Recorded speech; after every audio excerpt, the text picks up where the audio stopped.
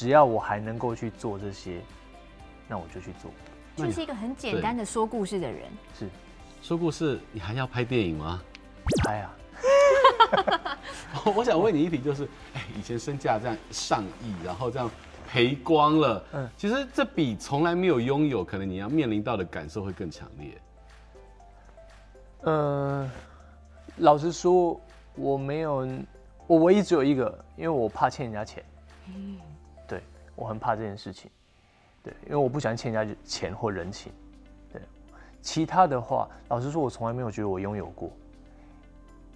因因为我没有很物质欲很高或怎么样。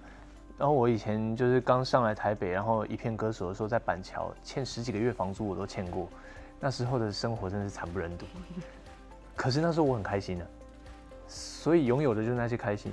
那其实后来拥有一些，我也没有觉得，因为我我没小孩也没什么嘛，所以我没有给谁。所以最后都捐出去或怎么样，我都很 OK 的。我们我当初的理想是这样，最后还有剩一些钱的话，我人生走到最后，我就给所有朋友，然后建一栋房子，然后大家能住在那边，我觉得蛮酷的。其他的捐出去，所以我没有觉得他最后要留给我什么。那我现在有的，像我那时候呃拍电影亏了钱了之后，我只是觉得啊惨了，突然要掉头寸，惨嘛。然后好险，后来不管是自己的一些以前写的歌的版税啊，或者什么东西，最后我能够 cover，慢慢又回魂了，然后我就觉得很开心。可是其他的，我觉得我没有那么 care。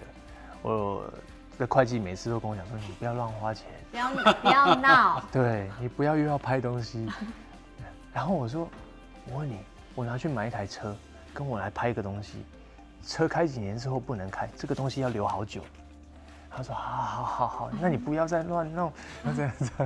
会计会比较实际，不然你再写五首 hit song，你再去拍一部电影这样。他跟跟你换，买个保险这样。跟你换。我就跟他说：那我去不管上节目啊或干嘛，我只要赚了钱，我就拿来做这个嘛。他说：好，那你可不可以？”留一点给我，留一点。会计就跟我说，你就留一点给我，在在库房里面，好周转。对对，你留一点给我，我不知道你以后会出什么事，你要为你爸着想，这样这样。一直跟我讲，我说好好好好。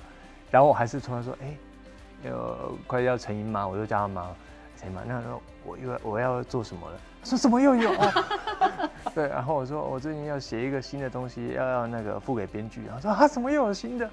他应该是蛮害怕收到你的 line 啊，很想要封锁你。他每一次看到我，然后一打数字出来，他他他就说：“怎么又有？你不要这样。”所以我就要再问一题，他可能会说：“怎么又有的？”就是你你现在这个 project 做到什么样程度？你是不是即将要发行新的专辑？就是今年四月应该就会出专辑，然后四月开始我就会做《你说我听着》的第二季。哦，你要进入到第二季了，然后。